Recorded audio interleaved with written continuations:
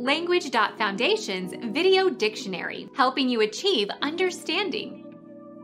Van used by police to transport prisoners.